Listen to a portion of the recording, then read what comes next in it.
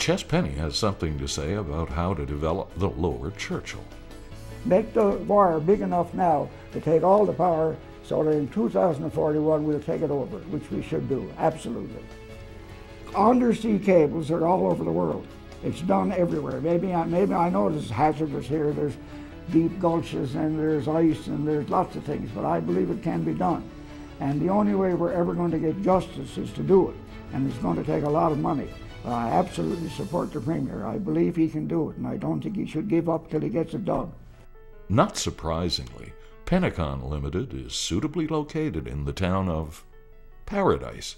And why not?